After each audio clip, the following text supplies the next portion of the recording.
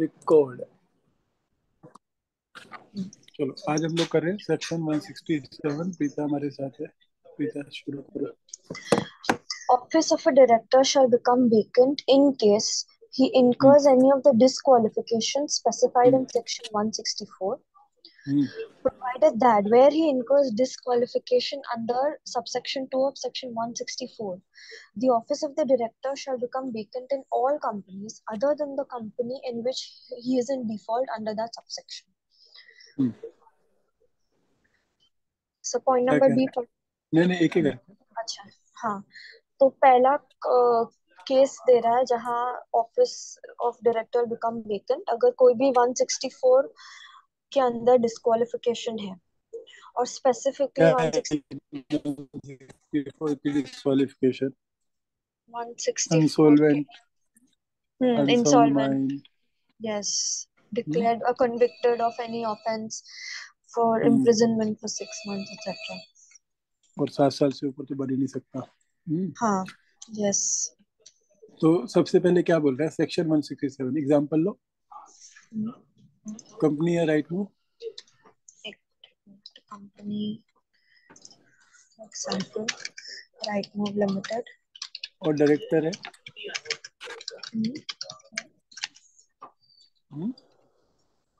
रूपाली वैद्या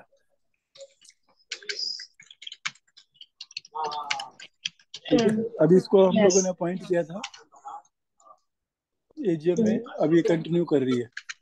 ठीक है she is continuing as director तो ये सेक्शन बोलता है कि ऐसे कुछ सिनेरियो है कि जो कंटिन्यूइंग हाँ। डायरेक्टर है उसका ऑफ़िस वैकेट हो जाएगा।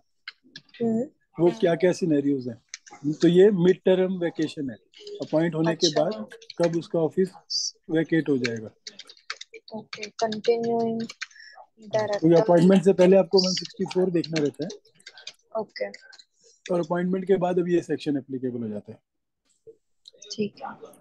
तो किसी को आपने डायरेक्टर अपॉइंट किया है और किन सिनेरियोज हम्म। में he will cease to hmm, be a director तो सबसे पहला है उसमें अगर रूपाली वैद्या हम्म। इनकर करती है कोई भी disqualification under section 164 incurs disqualification under section 164 ठीक है अब ये डिस्क्वालिफिकेशन में 164 टू में था। कि अगर आपने तीन साल की बैलेंस शीट फ़ाइल नहीं करी या डिपॉजिट हाँ डिबेंचर्स के ऊपर इंटरेस्ट नहीं दिया डिविडेंड नहीं दिया तो अगर हम्म। उसके कारण कोई डिस्क्वालिफिकेशन होती है तो हम्म वो जिस कंपनी में हुई डिस्क्वालिफिकेशन उसको छोड़ के बाकी सब कंपनियों में वैकेट होगा लेकिन उस कंपनी में कंटिन्यू करेगा। लाइक राइट मूव एकेडमी में तीन साल से बैलेंस शीट फ़ाइल नहीं करी। तो राइट मूव एकेडमी में डायरेक्टर हाँ। रहेगी लेकिन हाँ। उसको छोड़ के कहीं पर भी होगी वहाँ पे वैकेट हो जाएगा। ठीक है। तो ये एक्सेप्शन होगी इनका डिस्क्वालिफिकेशन अंडर सेक्शन से उसके आगे नीचे हम्म। लिखो। नहीं नहीं इसमें ऐसे लिखो। अच्छा। For disqualification under 164 two for disqualification under section 164 164 two that is balance sheet और डिपॉजिट वाला। Balance sheet oblique deposit deposit vacate office in all companies other than the hmm company which has non default complied 164 two हाँ other than the company which has not complied with section 164 two ठीक है ये पहली okay disqualification हम्म next तो during the course of time अगर उसके ऊपर कोई केस हो बेल होगी तो ऑफ़िस वैकेट हो जाएगा ठीक है हम्म, He absents himself from all meetings of the board of directors held during a period of 12 months with or hmm, without seeking leave of absence of the board. हाँ अब इसको करो यहीं पे बोल्ड करो पहले अच्छा ये अच्छा यहीं पे हैं। पहले हम्म ही एब्सेंट्स हिमसेल्फ हम्म ठीक है? All the meetings of board of directors तो कमिटी कवर नहीं है इसमें। ठीक है? Held during a period of twelve months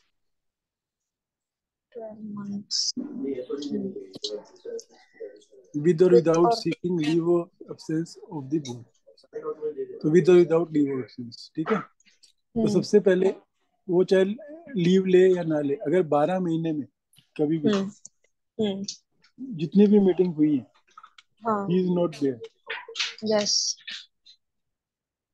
तो वो उसका ऑफ़िस वैकेट हो जाएगा। ठीक है।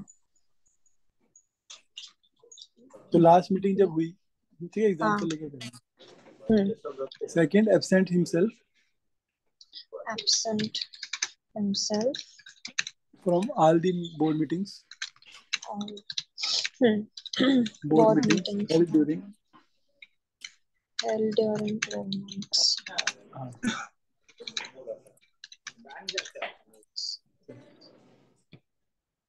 ठीक है ट्वेल्व मंथ्स विद और without leave of absence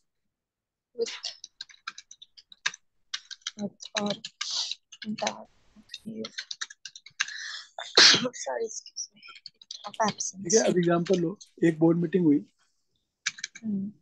third first Jan first फरवरी को 2022 hmm. ठीक है? अब इस मीटिंग में वो प्रेजेंट था।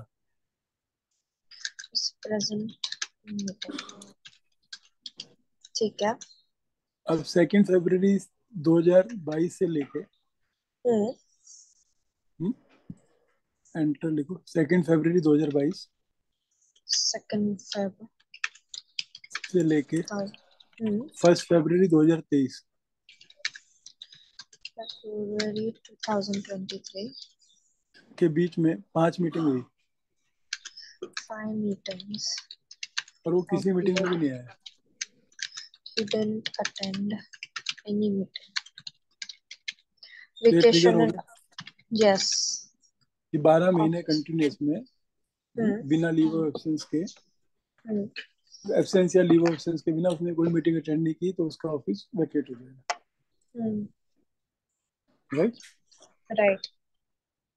So office vacated. ठीक है।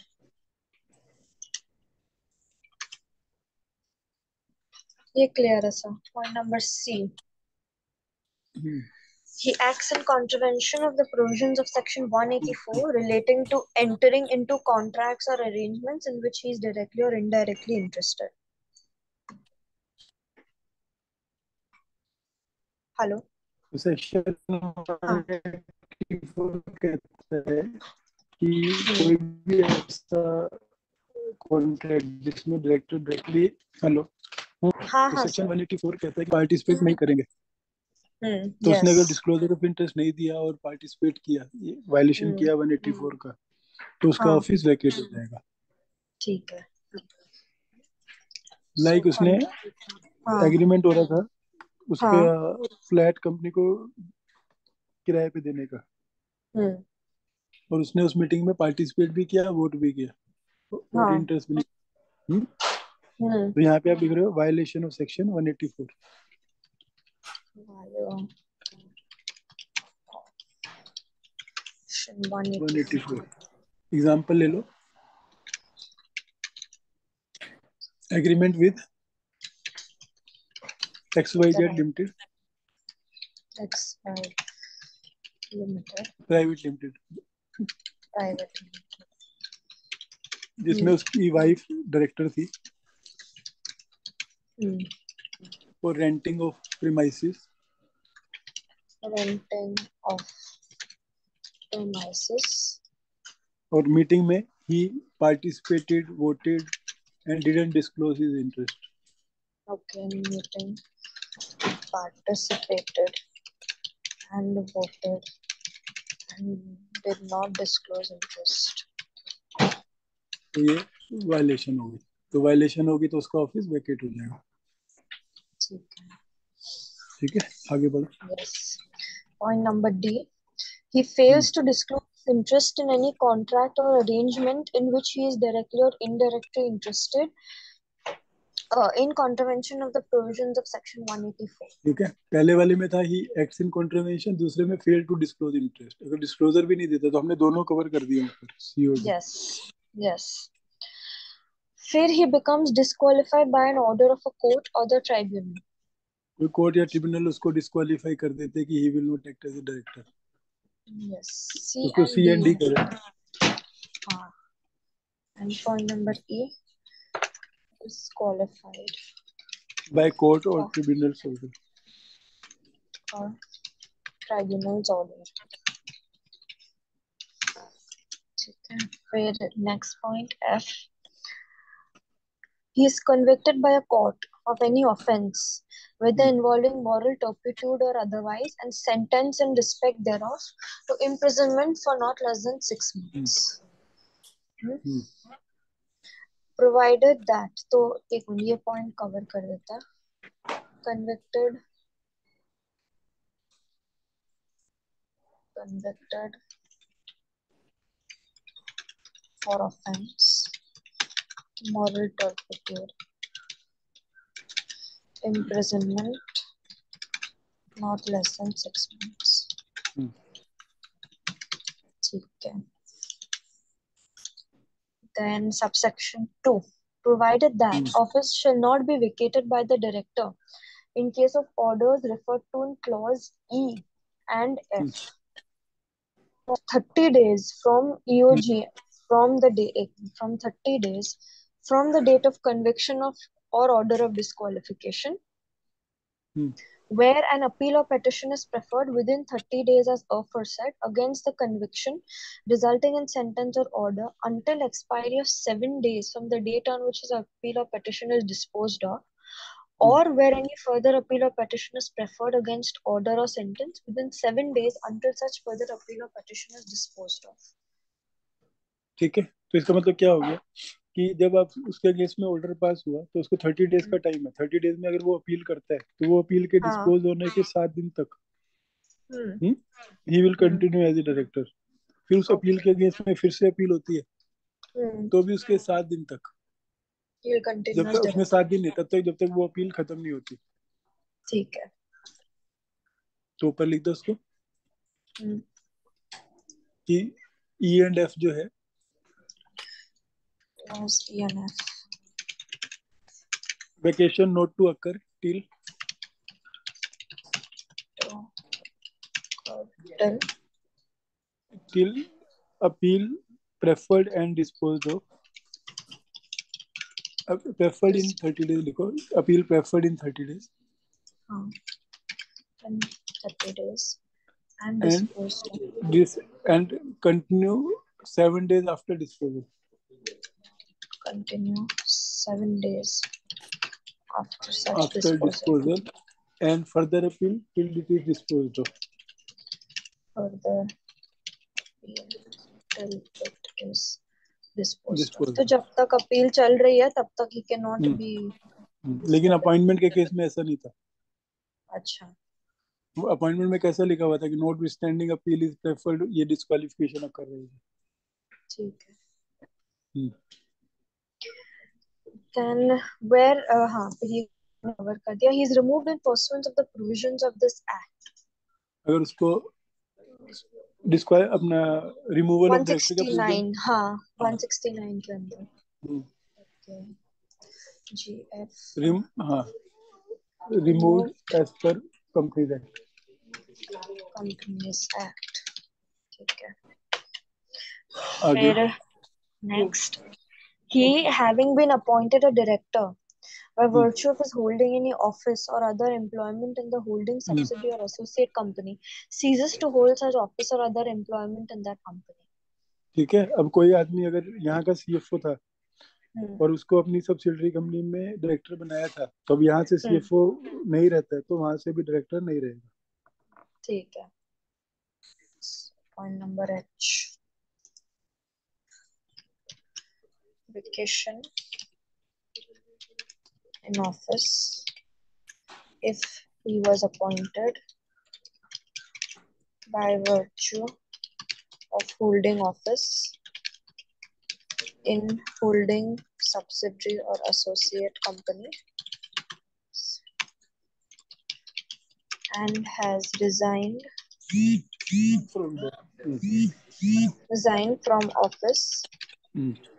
Of holding so, of such hold, हाँ, of such holding subsidiary और एसोसिएट ठीक है ठीक है आगे बढ़ो Next. If a person functions as a director, even when he knows that the office of a director held by him has become vacant on account of any of the disqualifications specified in subsection 1, he shall be punishable with fine which shall not be less than 1 lakh rupees but which may extend to 5 lakh rupees. अब किसी director को ये सब पता है कि मैं इस ग्राउंड पे डिस्क्वालीफाई हो चुका लेकिन वो कंपनी को नहीं बताता और कंटिन्यू करता है हम्म तो पेनल्टी तो इतनी आएगी एक से पाँच लाख की पेनल्टी यस ठीक है समझ गए जब तक डायरेक्टर बताएगा नहीं आपको पता नहीं चलेगा तो डायरेक्टर ने जो नहीं बताया तो उसकी responsibility Yes, personal liability on director.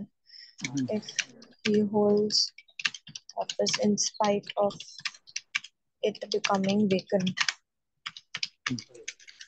One lakh, which Five may lakh. extend to five lakh. आगे बढ़ो Subsection 3, where all the directors of a company vacate their office under any of the disqualifications specified in subsection 1, promoter or in his absence, the central government shall appoint the required number of directors who shall hold office till the directors are appointed by the company in the general Hmm. meeting. अब फिर promoter का पहली बार जिक्र हो रहा है सो हाँ promoter और इन इज एब्सेंस सीजी में appoint third point in his absence. Central government may appoint directors if all directors become disqualified. Become disqualified. And they will hold office till next general meeting where regular directors would be appointed. Next GM where regular directors will be appointed. Hmm. ठीक है Hmm. Point number four. A private company may, by its articles, provide any other ground for vacation of office of a director in addition to those specified in subsection 1. ठीक है तो private company additional ground of vacation भी दे सकती है Private company can provide additional disqualification. Qualification. ठीक है vacation vacation हाँ so sorry for vacation.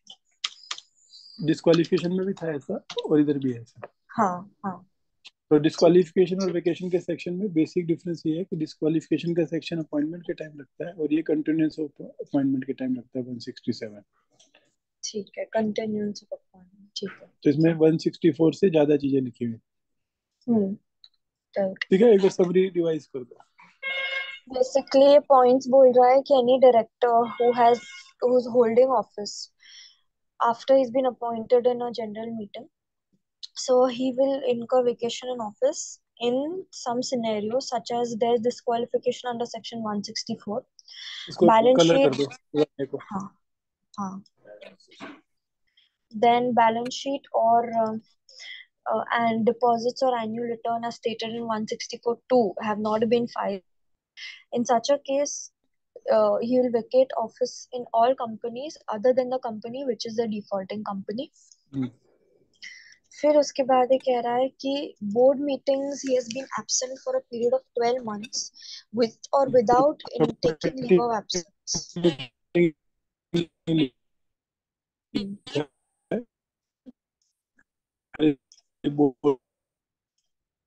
hello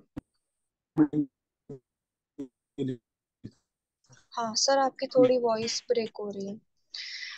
फिर सेक्शन 184 का violation if he enters into an agreement हाँ and if he enters into an agreement in which he is interested and he participates and votes in such a meeting without disclosing his interest any court or tribunal gives an order disqualifying him or convicts him for an offense for imprisonment of not less than six months for moral turpitude then और otherwise खाली moral और turpitude otherwise. Otherwise हम्म फिर उसके बाद in case of any order of any court for conviction or disqualification vacation does not occur till appeal is filed in 30 days Hmm. and after the disposal of any appeal he shall not vacate his office for 7 days. Hmm. And further till the appeal is disposed of. Hmm. Then he can be removed as per the provisions of companies act also which we will study under section 169 if he was appointed because he's holding office in the holding subsidiary or associate company and he is resigned from such holding subsidiary or associate company, then automatically his office becomes vacated. Mm. If director continues to hold office in spite of um, uh, being a vacation in his office as a director, personal liability on director from 1 lakh to 5 lakh rupees. Mm. Then if the office of all directors becomes vacant, the promoter or central government can appoint directors who till next general meeting. And mm. next general meeting, regular appoint- directors then will be appointed. Mm. Private company can provide additional grounds for vacation or disqualification in office of section में ये देख लो कि third point सिर्फ़ disqualification के कारण है कि हर cases में अच्छा थर्ड पॉइंट ना um, where all directors vacate their offices under any of the disqualification specified in subsection 1 तो ये जनरल नहीं है खाली डिस्क्वालिफिकेशन के केस में ही है हम्म तो सिर्फ़ डिस्क्वालिफिकेशन ना ठीक है? Hmm. अभी क्लियर है 167 यस 167 इज़ क्लियर क्लोज करते हैं। Okay thank you